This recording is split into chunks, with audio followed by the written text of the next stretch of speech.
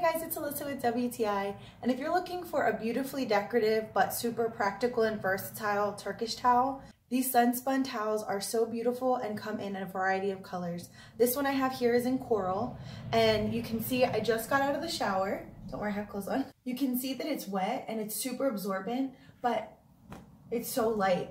It doesn't soak the water in. It really dries you off. Some Turkish towels I feel like don't really dry you that well, but this really does, but it still stays only, it only ever gets damp. It never really gets soaking wet. And so it dries so quickly and I love that about it. It also looks so nice hanging. When I hang these behind my door, I don't worry about them if they're visible when I'm on a video conference because they just look so nice and I can keep them out. So if you're looking for a beautiful Turkish towel that's absorbent enough for the shower but beautiful enough for the beach, you're gonna wanna get these SunPun Turkish towels. And that's my point of view.